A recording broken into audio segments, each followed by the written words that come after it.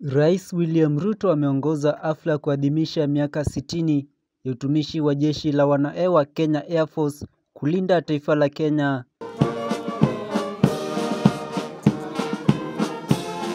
Akizungumza katika hafla hiyo, Rais Ruto amesema serikali itahakikisha ghorofa zote zilizo karibu na kambi ya jeshi zimejengwa kufikia urefu uliowekwa na sheria.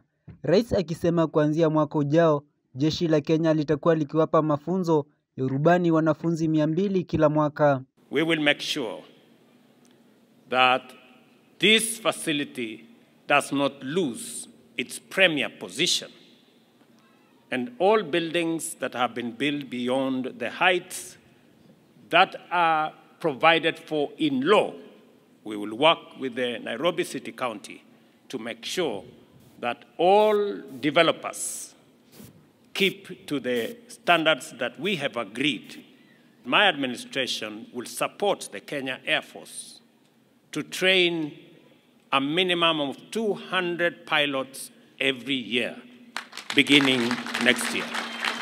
Rais akisema serikali ya Kenya imejizatiti kuhakikisha jeshi la Kenya lapata zana za kisasa za vita na za kufanya mazoezi ili huduma zao ziimarike. The government of Kenya is committed to continuing the modernization of our Air Force, ensuring that you have the tools, training, and resources needed to meet any challenge. Kwa upande wake mkuu wa majeshi nchini Jenerali Charles Kariri akisema kufuatia mifumo ya kidijitali kama ndege pamoja na zana zingine za kisasa za vita, jeshi la hewa limekuwa kwa kasi kuimarisha huduma zao za kulinda mipaka ya taifa hili. We have witnessed the Kenya Air Force grow in terms of capabilities